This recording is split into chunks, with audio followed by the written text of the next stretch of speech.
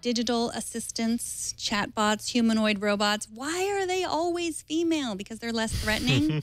I think so. Not so with robot Sophia, who debuted at South by Southwest. Uh, we can watch a little clip from a video from CNBC. I think that the artificial intelligence will evolve to the point where they will truly be our friends. Do you want to destroy humans? Please say no. Okay, I will destroy humans. No, I take it back. Oh, reminds me of Tay. Uh, yeah, so she's uh, threatening enough. I don't know why. Why do you guys think there are always female voices in all of these digital assistants? Erin.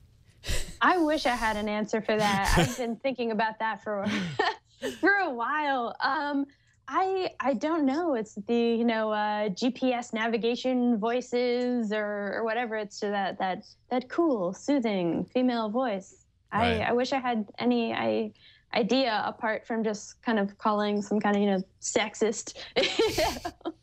I know, right? um, like you know. when when I- when I think of of talking to a robot in in a man's voice, let's say, um, my instant reaction is to you know is that it's going to go kind of more to that kind of threatening side of things, and uh, I don't I don't know that what that says about society if that's what how the creators behind these things also feel, and that's why they choose uh, you know women to represent you know AI or robots uh, more than men. But I bet you there's probably something to that, that there's just kind of a social inclination for people to maybe trust uh, trust a, a woman's voice more than they trust a man's voice.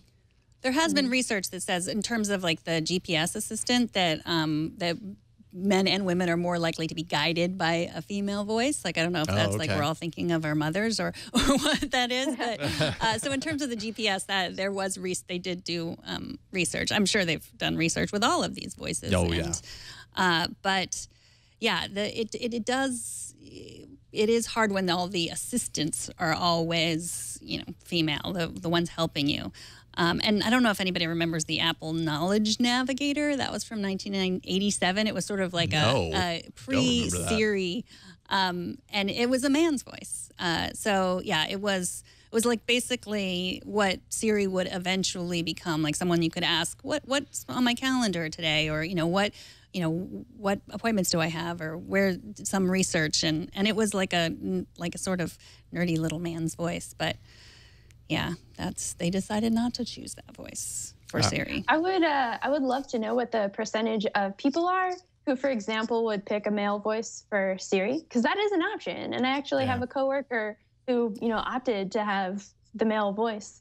Um, yeah, I'd be, I'd be I'd be curious. Yeah, mine. Uh, I, I use the male voice for Siri. I do. See, choice.